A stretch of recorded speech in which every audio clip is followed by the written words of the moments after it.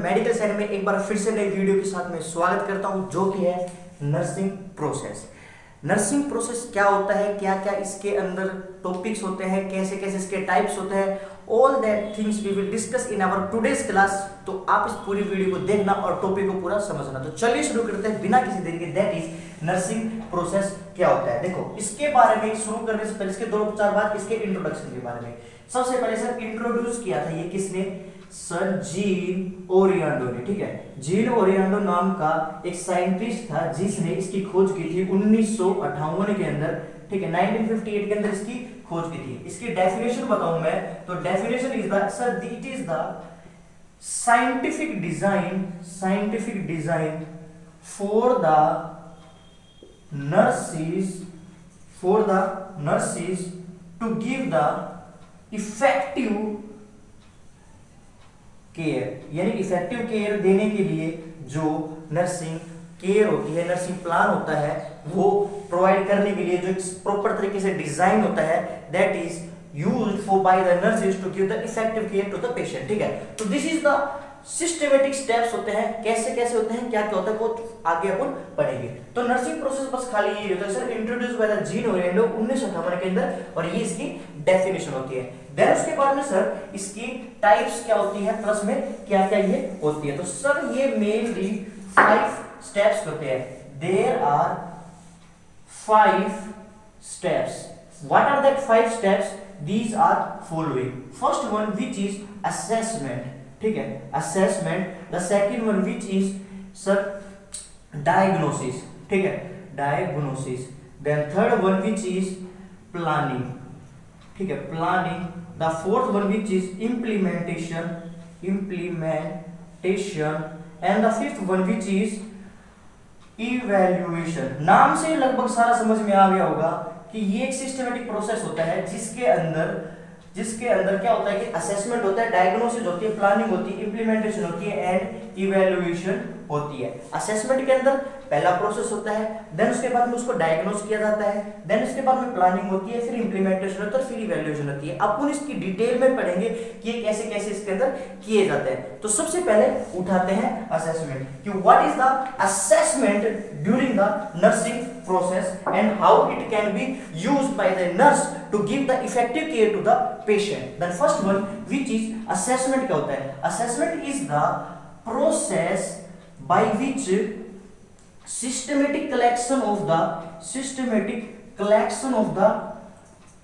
vital information about the patient and disease condition ठीक है disease condition यानी कि डिज़ीज़ कंडीशन के बारे में प्लस में उसके पेशेंट की हिस्ट्री के बारे में all that kind of information we have to get by the assessment so assessment is the first and very important जो प्रोसेस होता है, जो फ़र्स्ट स्टेप होता है सॉरी तो वो बड़ा ही यूज़ किया जाता है सबसे पहले असेसमेंट यानी कि कोई भी आदमी आता है, कोई भी पेशेंट आता है, आप किसी भी वार्ड के अंदर है ओपीडी के अंदर है then he you will ask about that patient that what is the history what are the disease condition what are the kind of signs symptoms you are feeling right now about the disease condition about your family so all that type of data which is taken by the healthcare provider that is known as assessment. Then assessment then assessment भी चार तरह का होता है। कैसे कैसे इसको use किया जाता है? पहले तो इसकी इंडिकेशन यानी कि ये कब कब यूज़ किया जाता है।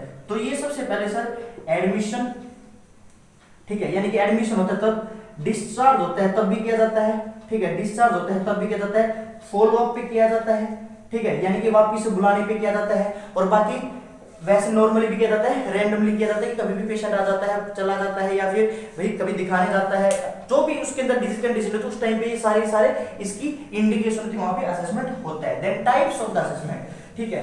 Types of the assessment assessment के भी कौन से कौन से टाइप्स होते हैं? तो सबसे पहले जो असेसमेंट के टाइप्स होते हैं that are first one which is initial और कॉम्प्रिहेंसिव ठीक है? इनिशियल या फिर कॉम्प्रिहेंसिव ये क्या होता है? जब कोई पेशेंट फ़र्स्ट टाइम आता है, ठीक है? फ़र्स्ट टाइम पेशेंट केम देखो taken when first time patient came to the emergency department या फिर ओपीडी या फिर कभी भी कहीं भी, जो डिपार्टमेंट के अंदर हॉस्पिटल के अंदर आता है तो फ़र्स्ट टाइम पे इनिशियल डाटा पूछा जाता है that is the initial assessment then second number पे होता है सर ड्यूरिंग द एडमिशन ठीक है? यानी कि जो उसकी ड्यूरिंग द एडमिशन होती है, या फिर ड्यूरिंग द जो उसका केयर की जाती है, या फिर जो उसकी प्रॉपर तरीके से जो मेंटेन रखा जाता है बोर्ड के अंदर एडमिट किया जाता है तो पूरे इस प्रोसेस के टाइम पे जितने भी डाटा कलेक्ट किया जाता है all the data come under the during the admission या फिर ड्यूरिंग द प्रोसीजर के टाइम पे थेरेपेटिक के अंदर, ठीक है?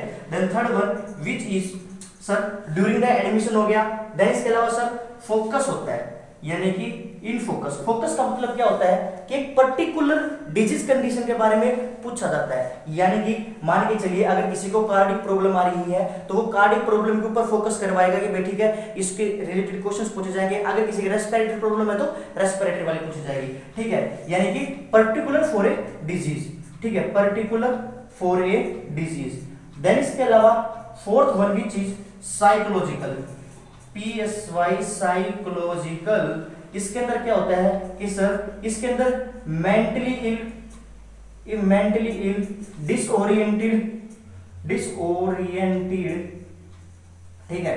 या फिर कंफ्यूज्ड कंफ्यूज हो जाता है उस टाइम पे तो उस टाइम पे जो डाटा कलेक्ट किया जाता है by the health care provider that is known as क्या? साइकोलॉजिकल असेसमेंट देन उसके बाद में, सर कौन से कौन से इसके सोर्सेज होते हैं, ठीक है? सोर्सेज से पहले कि सर, कौन कौन इसके टाइप होते हैं? तो टाइप के अंदर भाई देखो, कौन सोर्स के अंदर तो मेनली क्या होता है? देखो सोर्स के अंदर या तो भैया प्राइमरी सोर्स होता है सेकेंडरी सोर्स होता है। प्राइमरी सोर्स के अंदर तो क्या होता है कि वो खुद पेशेंट होता है ना? तो उस टाइम पे जो खुद पेशेंट अपना डाटा बताता है कि भाई ठीक है, ये है, मेरे अंदर ये प्रॉब्लम हो रही है तो that is the primary source and अगर सेकेंडरी क्या होता है कि जो उसके फैमिली मेंबर साथ में आए हैं वो उसको बताते हैं कि इसकी ये डिज़ीज़ कंडीशन है, इसको ये परेशानी है, या फिर वो पेशेंट को बोल नहीं पाता, कोई परेशानी है, फिर किसी भी तरीके से वो नहीं बता पा रहा है अनकॉन्शियस है तो साइड में जो उसके रिलेटिव आते हैं that type of the data is known as क्या? सेकेंडरी और बाकी इसके अलावा टाइप्स ऑफ़ द डाटा के अंदर दो तरह के होते हैं। First one which is subjective data subjective data क्या होता है? Subjective data is that data which is taken by the यानी कि टेकन बाय द सेल्फ जो पेशेंट होता है, जो भी होता है, जो जो उस डिज़ीज़ कंडीशन की वजह से प्रीवेल है उसके अंदर तो वो जो बताता है that is subjective data and objective data is like देखो, मैं आपको लिख के बता देता हूँ, क्या होता है कि सब्जेक्टिव डाटा सब्जेक्टिव डाटा क्या मतलब क्या होता है? सब्जेक्टिव डाटा का मतलब ये होता है कि जो सब्जेक्ट दे रहा है यानी कि उसके अंदर जो डिज़ीज़ कंडीशन हो रही है, जो आदमी दे रहा है कि सर मेरे पेन हो रहा है, मेरे यहाँ से मैं तीन दिन तक सोया नहीं था, फलाना जो भी उसको डिज़ीज़ कंडीशन बताता है that is subjective data and objective data वो डाटा होता है that is given by the taken by the instrument वगैरह या फिर हेल्थ केयर प्रोवाइडर यानी कि जो किसी का टेम्परेचर लिया तो वो ऑब्जेक्टिव डाटा होता है बीपी नापा तो ऑब्जेक्टिव डाटा होता है. या फिर कोई भी एक लेबोरेटरी इन्वेस्टिगेशन वगैरह होती है डाटा इस टाइप ऑफ़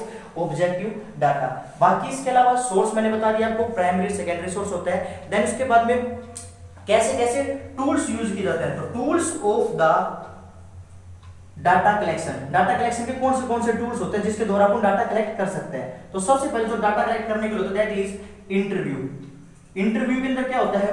इंटरव्यू देन रुक जाओ। सेकंड नंबर पे लेबोरेटरी इन्वेस्टिगेशन लेबोरेटरी इन्वेस्टिगेशन ठीक है? Then third one which is laboratory investigation होती है then third one which is physical examination ठीक है फ़िज़िकल एग्जामिनेशन होता है। अब मेन टॉपिक शुरू हो रहा है, जिसके अंदर से क्वेश्चंस पूछे जाते हैं। मेन टाइप्स तो कि सब्जेक्टिव डाटा क्या होता है आपको डाटा दे दिया जाएगा सब्जेक्टिव है ऑब्जेक्टिव जो क्वेश्चन यहाँ से आते हैं। या फिर इसके अलावा इंटरव्यू देखो इंटरव्यू यानी कि क्या होता है? इंटरव्यू में दो तरह का होता है। एक तो होता है स्ट्रक्चरल इंटरव्यू एक होता है अनस्ट्रक्चरल इंटरव्यू अगर कोई भी पेशेंट आपके पास में आता है उसके लिए आप पर्टिकुलर से पहले से ही उसके लिए क्वेश्चंस बना के रखते हैं अपने पास में कि देखो वो आएगा तो मैं उसे पाँच सात क्वेश्चन ऐसे ऐसे है, ये डिज़ीज़ कंडीशन है और मैं उससे पूछूँगा। तो वो क्या होता है स्ट्रक्चर होता है, उसके पास में प्रॉपर प्लान होता है ब्लूप्रिंट होता है। That blueprint by that for that patient that is known as क्या स्ट्रक्चर इंटरव्यू और अनस्ट्रक्चर इंटरव्यू क्या होता है कि अचानक से कोई पेशेंट आया और अचानक से जो उससे रिलेटेड एट द स्पॉट जो भी क्वेश्चंस पूछे जाते हैं without any pre plan that is known as unstructure interview then उसके बाद में होता है लेबोरेटरी इन्वेस्टिगेशन लेबोरेटरी इन्वेस्टिगेशन का मतलब बस खाली यही होता है कि जो लेबोरेटरी के द्वारा जो भी सीबीसी वगैरह हो गई हो एमआरआई सीटी स्कैन वगैरह, जितने भी जो डाटा होता है that is the laboratory investigation होता है. मोस्ट कंफर्मेटिव डाटा होता है. क्वेश्चन यहाँ से आता है मोस्ट कंफर्मेटिव डाटा क्या होता है? सर लेबोरेटरी इन्वेस्टिगेशन होती है. देन उसके बाद होता है फ़िज़िकल एग्जामिनेशन फ़िज़िकल एग्जामिनेशन कितने तरह का होता है, ये पढ़ते हैं। ये जो कि क्वेश्चंस बहुत ज़्यादा पूछे जाते हैं, ठीक है? तो उठाते हैं फ़िज़िकल एग्जामिनेशन ये था सब्जेक्टिव ऑब्जेक्टिव ये टॉपिक्स बड़े छोटे हैं बट इंपॉर्टेंट है समटाइम्स कंफ्यूज हो जाते हैं तो आप अच्छे से समझना इसको, ठीक है? देन उसके बाद होता है फ़िज़िकल एग्जामिनेशन अब फ़िज़िकल एग्जामिनेशन कितने तरह का होता है? देखो, सबसे पहले क्या जाता है? इंस्पेक्शन ठीक है? इंस्पेक्शन पाल्पिटेशन ठीक है देन उसके बाद में परकशन परकशन किया जाता है। देन उसके बाद में अस्कल्टेशन ठीक है। ये प्रोसेस होता है नॉर्मली ठीक है। देन उसके बाद में इंस्पेक्शन हो गया पाल्पिटेशन हो गया परकशन हो गया अस्कल्टेशन हो गया। अगर एबेडोमिनल एग्जामिनेशन की बात बताऊँ मैं आपको, ठीक है। Abdominal examination during the abdominal examination abdominal examination तो उस टाइम पे जो प्रोसीजर होता है क्वेश्चन से पूछा जाता है, बहुत सारे एग्ज़ाम्स के अंदर ये पूछ लिया गया है कि एबेडोमिनल एग्जामिनेशन की प्रायोरिटी क्या होती है। तो आप लिखना सबसे पहले इंस्पेक्शन आएगा इंस्पेक्शन देन उसके बाद में अस्कल्टेशन देन उसके बाद में पाल्पिटेशन एंड देन लास्ट में आता है तो आप ये होता है। अगर नॉर्मली अगर आपसे पूछा जाता है तो ये प्रोसीजर होता है, ठीक है? और अगर ड्यूरिंग द एबडोमिनल एग्जामिनेशन के बारे में पूछा जाता है तो ऐसे होता है। इंस्पेक्शन होगा देन स्कल्टेशन होगा देन पाल्पिटेशन होगा देन परकशन होगा। तो these are all of the types of the physical examination where we can get the data by the physically जो मेथड्स होते हैं। अब इसके बाद में मैं आपको बताता हूँ कि कुछ पोजीशंस बताता हूँ। अब वो पोजीशंस बहुत ज़्यादा होगी, पर मैं आपको नॉर्मली बताऊँ, आप लिखते जाना जो फ़िज़िकल एग्जामिनेशन के अंदर हेल्प करवाती है। जैसे सबसे पहले, क्या होता है? सुपाइन पोजिशन ठीक है? सुपाइन पोजिशन के अंदर क्या होता है कि पेशेंट एकदम सीधा लेट जाता है, ठीक है? क्या किया जाता है इसके अंदर? सीधा फ्लैट लेट जाता है। वो होती है सुपाइन पोजिशन बैक के तरफ़ से। तो उसके अंदर सबसे पहले हेड टू इसका जो फ़ंक्शन होता है जबकि हेड टू टो एग्जामिनेशन करवाने के लिए हेल्पफुल होता है प्लस में एबेडोमिनल एग्जामिनेशन करवाते हैं, लेकिन इसकी सेकंड प्रायोरिटी होती है, ठीक है? अब फ़र्स्ट प्रायोरिटी का जो मैं आगे जाके बताऊँगा, ठीक है? तो आप लिखते जाना, बड़े आसान है। सबसे पहले क्या होगा? सुपाइन पोजिशन जिसके अंदर लेट जाएगा और जिसके अंदर हेड टू टो एग्जामिनेशन के अंदर हेल्पफुल होती है। देन उसके बाद में सेकंड नंबर पे आता है क्या? सिटिंग पोजिशन यानी कि पेशेंट चेयर पर बैठा दिया जाएगा तो उसके अंदर अपन क्या क्या एग्जामिन करते हैं? तो उसके अंदर अपन हेड और नेक और गला और चेस्ट वगैरह का एग्जामिनेशन करवा सकता है, या फिर जो एक्सपेंशन होता है, किसका बटक्स का, उसका भी अपन एग्जामिनेशन करवाते हैं एट सिटिंग पोजीशन देन उसके बाद होता है थर्ड वन की चीज़ प्रोन पोजीशन यानी कि उल्टा लेट जाता है. उल्टा लेटने पे क्या क्या क्या क्या क्या चेक किया जा सकता है? दैट इज़ सर जो उसका मस्कुलोस्केलेटल एग्जामिनेशन किया जाता है, वो प्रोन पोजीशन के अंदर किया जाता है. प्लस में हिप फ्रैक्चर वगैरह तो नहीं हो रहा है, उसके अंदर किया जाता है. देन उसके बाद होती है स्क्वेटिंग पोजीशन स्क्वेटिंग पोजीशन आपने देखा होगा, जो जैसे ऐसे उकड़ू करके बैठ जाते हैं ना that position is known as sitting position where that is check by the किसके द्वारा? हेल्थ केयर प्रोवाइडर द्वारा चेक की जाती है। क्या चेक किया जाता है? सर जो इनवाइनल हर्निया हो जाती है ना, उसके लिए चेक करने वाली that position is known as क्या? स्वेटिंग पोजीशन कहा जाता है। देन उसके बाद में आती है ट्रेंडलबर्ग पोजीशन ट्रेंडलबर्ग पोजीशन हमेशा पेल्विक एग्जामिनेशन के अंदर चेक की जाती है, ठीक है? पेल्विक एग्जामिनेशन के अंदर। देन उसके बाद में आती है क्या? ट्रेंडलबर्ग पोजीशन यानी कि ऐसे ऐसे उल्टा लेट दिया जाता है, जो उसका जो पैर का जो एंड होता है, उसको एलिवेट कर दिया जाता है और हेड एंड को नीचे कर दिया जाता है। वो होती है ट्रेंडरल पोजीशन ठीक है? देन उसके बाद होता है dorsal recombinant position dorsal recombinant position क्या होता है? कि देखो, अगर कोई पेशेंट ऐसे लेटा हुआ है, ऐसे, और वो अपने इधर की साइड उसका चेहरा है तो ये अपने पैरों को ऐसे कर ले जाता है। यानी कि पैरों को पीछे की तरफ़ फ्लेक्स कर ले जाती है। ऐसे करके नहीं हो जाता है। ऐसे आगे पीछे की तरफ़ पैर कर ले जाते हैं। That is known dorsal recombinant position ये कैथेटराइजेशन के अंदर बहुत मोस्ट कॉमनली यूज़ की जाती है। एबडोमिनल एग्जामिनेशन की फ़र्स्ट प्रायोरिटी सेकंड प्रायोरिटी मैंने सुपाइन पोजीशन बताई थी। फ़र्स्ट प्रायोरिटी ये होती है। और बाकी इसके अलावा बोन में बायोस्पी वगैरह भी सीसे किया जाता है। ठीक है? देन उसके बाद में होता है सर राइट लेटरल पोजीशन होती है। नहीं लेफ़्ट लेटरल पोजीशन होती है। लेफ़्ट लेटरल पोजीशन कोलोनोस्कोपी के लिए यूज़ की जाती है। प्लस में, और इसके अलावा जो गेनोपेक्टोरल पोजीशन होती है जो आपने सुना होगा, वो पोजीशन किसके अंदर यूज़ की जाती है? नी चेस्ट पोजीशन जिसे कहते हैं, वो सर डोर्स इस नी चेस्ट पोजीशन हमेशा किसके अंदर? रेक्टो रेक्टल एग्जामिनेशन के अंदर या फिर सिग्मोइडोस्कोपी के लिए यूज़ की जाती है रेक्टल और लिथोटोमिक पोजीशन किसके अंदर यूज़ की जाती है? वो होती है पेरिनियल एग्जामिनेशन के अंदर यूज़ की जाती है। तो आप इस वीडियो को थोड़ी प्रीवियस करके देख लेना अगर किसी भी पोजीशन में आपको भूल गए हो या फिर डिफिकल्टी लगती है, ठीक है? तो ये था all about the physical examination की मैंने सिर्फ़ बताई आपको। अब शुरू करते हैं इंस्पेक्शन क्या होता है, ठीक है? इंस्पेक्शन क्या होता है और क्या क्या इसकी बात होती है रिलेटेड इससे ठीक है? तो इंस्पेक्शन के अंदर सबसे पहले उठाते हैं। देखो इंस्पेक्शन का नाम से पता चल रहा है, वो प्रोसीजर जिसके द्वारा अब जैसे use to examine the any cavity और body surface examine the cavities और बॉडी बाई एनी इंस्ट्रूमेंट यानी कि कोई भी इंस्ट्रूमेंट के द्वारा एग्जामिन करना। जैसे कि, सर लैरिंगोस्कोप हो गया। ठीक है लैरिंगोस्कोप हो गया प्रोक्टोस्कोप हो गया, ठीक है प्रोक्टोस्कोप हो गया। या फिर कोई और इंस्ट्रूमेंट के द्वारा एग्जामिन कर देना। प्रोक्टोस्कोप यानी कि रेक्टल का एग्जामिनेशन करना लैरिंगोस्कोप गले का एग्जामिनेशन करना ओटोस्कोप होता है कान का एग्जामिनेशन करवाने के लिए। तो the instrument which is used by the examination of cavities or something else of related to our body that is known as inspection. Inspection के द्वारा किया जाता है। जैसे अगर स्केलरा का यानी कि अगर स्केलरा की बात बताऊँ मैं स्केलरा अगर येलो कलर की हो जाती है, ठीक है?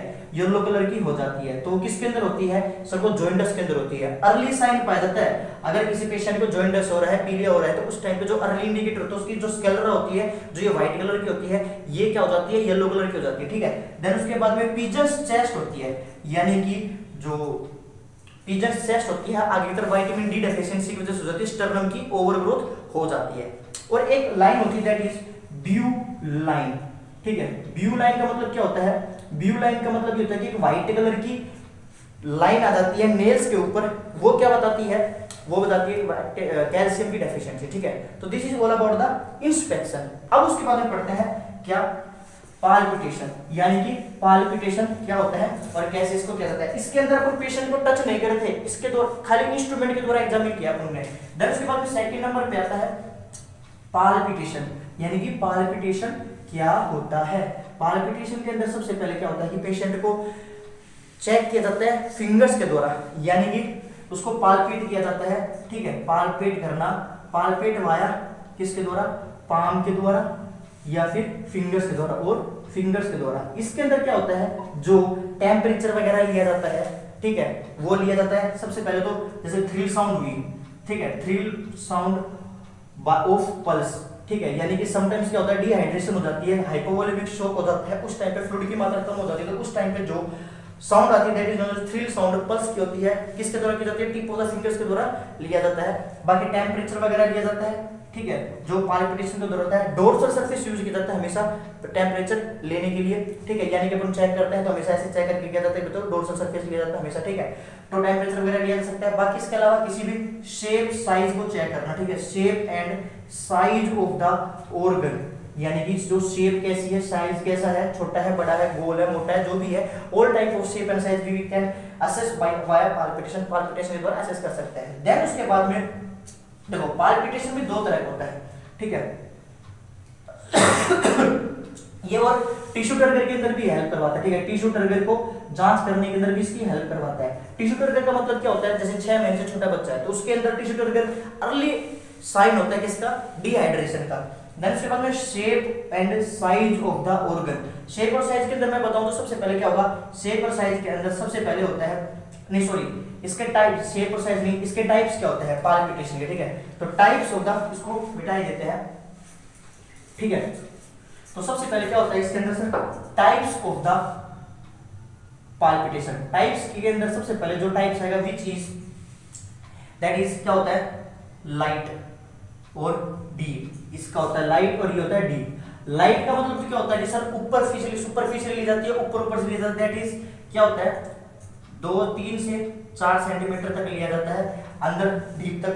बाकी जैसे पल्स को चेक करने के लिए, ठीक है, उसके लिए यूज़ की जाती है light and the deep that is sir चार से पाँच सेंटीमीटर यूज़ किया जाता है। लीवर सिरोसिस वगैरह को लीवर सिरोसिस या फिर एनलार्जमेंट हो जाता है लीवर का उसके लिए चेक करने के लिए, ठीक है?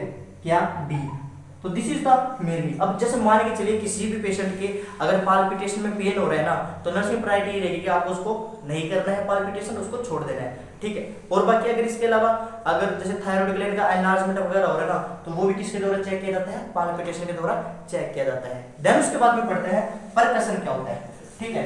परकसन यानी कि वो प्रोसेस ठीक है परकसन लिखते जाना आसान सा है, छोटा सा टॉपिक है, पर थोड़ा सा इंटरेस्टिंग सा है। और क्वेश्चन आते हैं इसमें बहुत सारा। तो सबसे पहले परकशन क्या होता है? परकशन से टिप ऑफ़ द फिंगर्स के द्वारा चेक किया जाता है। टिप ऑफ़ द फिंगर्स के अंदर चेक किया जाता है, वाया, और प्लस में सर रिफ्लेक्सिस चेक करने के अंदर यूज़ किया जाता है। ठीक है? रिफ्लेक्सिस प्लस में जो उसकी रिफ्लेक्सिस चेक करने के अंदर यूज़ किया जाता है किसका?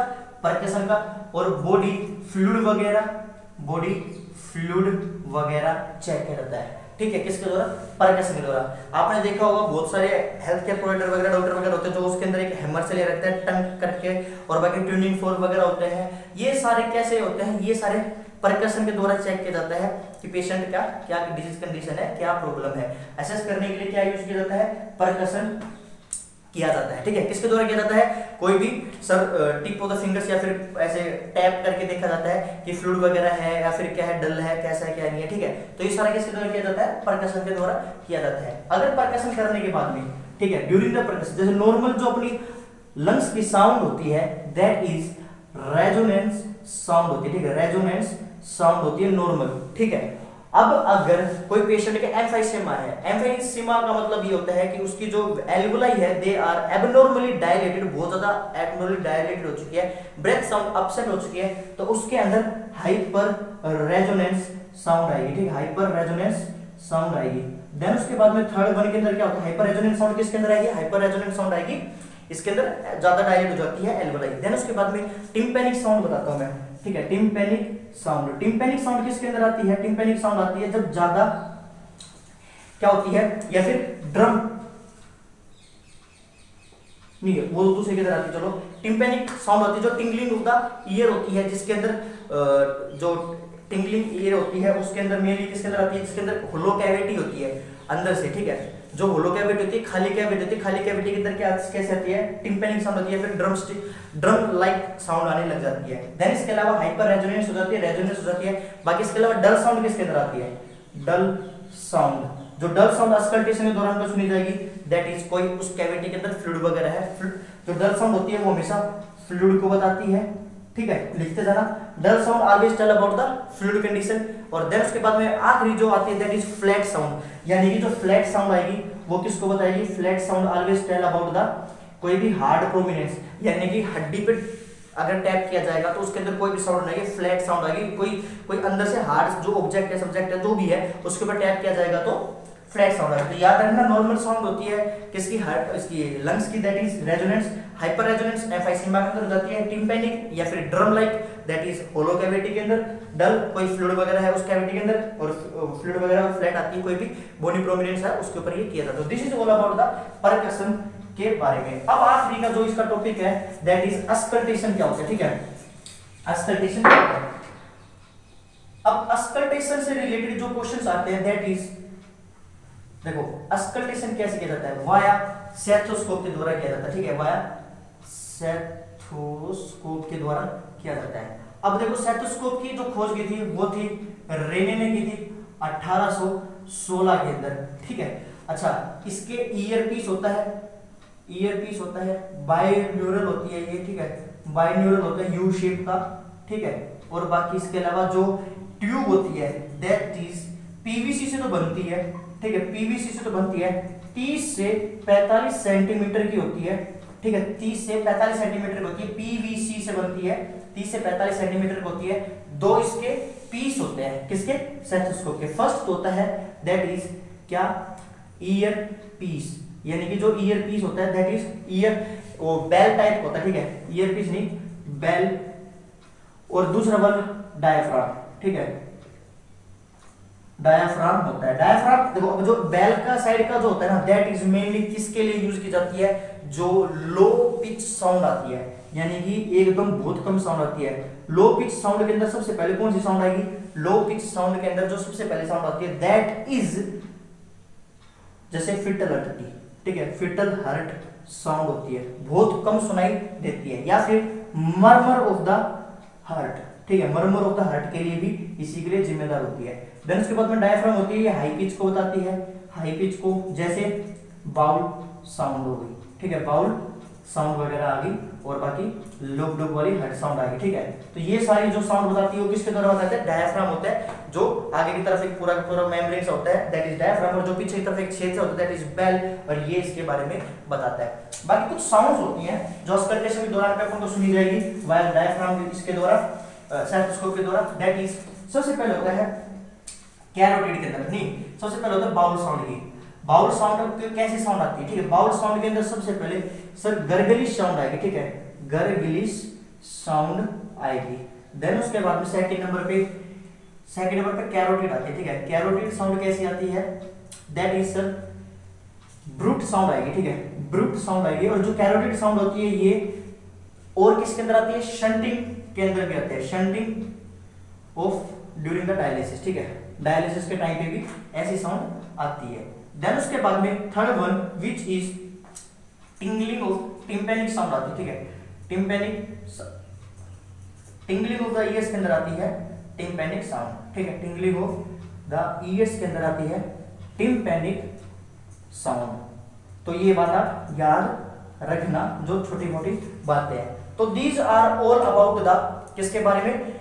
अस्कल्टेशन के बारे में। अब इसके बारे में एक टॉपिक और है, छोटा सा दैट इज़ ओल फैक्शन में आपको ऊपर से नॉर्मली बता देता हूँ, आप लिख लेना।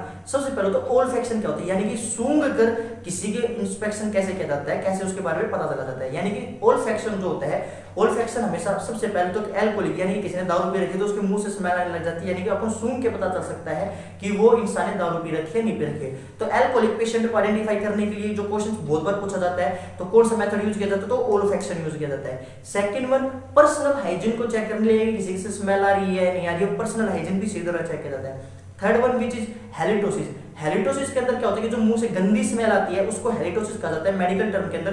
तो हेलिटोसिस के भी चेक किया जाता है ओल्फैक्शन मेथड के द्वारा। बाकी एक होता है नॉन इनवेसिव ब्रेथ टेस्ट जो होता है एमोनिया के अंदर किया जाता है। हाइलोबैक्टीरिया पाइलोरी नाम का एक बैक्टीरिया पाया जाता है पेट के अंदर स्टमक के अंदर, जो पेप्टिक अल्सर कोज कर देता है। और उसके द्वारा यूरियस एंजाइम्स के द्वारा उसकी एब्नॉर्मलिटी करके एमोनिया की स्मेल आने लग जाती है मुँह से, जो किसके द्वारा बताता है? ओल्फैक्शन के द्वारा ही बताते हैं। बाकी कीटो फ्रूटी स्मेल की स्मेल आती है, जैसे कीटो एसिडोसिस होता है तो उसके अंदर क्या होता है ओल्फैक्शन के द्वारा वो पता चलती है फ्रूटी टाइप की स्मेल आएगी। और अगर जैसे एक टेस्ट और होता है दैट इज़ हाइड्रोजन टेस्ट होता है। हाइड्रोजन जो सूंघने के लिए होता है that is due to the किसके लिए, किसके द्वारा किया जाता है, वो कार्बोहाइड्रेट को चेक करने के अंदर होता है। हाइड्रोजन ब्रेथ टेस्ट जिसे कहते हैं, वो कार्बोहाइड्रेट मेटाबॉलिज्म को चेक करने के अंदर यूज़ किया जाता है। अब पढ़ते हैं, अपन ने ये तो था अभी तक का क्या फ़िज़िकल एग्जामिनेशन असेसमेंट देन उसके बाद में पढ़ते हैं। पाल्पिटेशन हो गया, ये सारे सब कुछ हो गया असेसमेंट हो गया। देन उसके बाद सर प्लानिंग नहीं डायग्नोसिस होता है, ठीक है सॉरी डायग्नोसिस डायग्नोसिस के अंदर क्या होता है कि देखो डायग्नोसिस के अब जितने भी टॉपिक है तो छोटे हैं, ज़्यादा बड़े नहीं है, आसान है। डायग्नोसिस के अंदर क्या होता है सर, ये राइटिंग द प्लान करने के लिए यूज़ किया जाता है, ठीक है? राइटिंग द प्लान डाउन ठीक है? और बाकी सर एक्चुअल प्रॉब्लम होती है।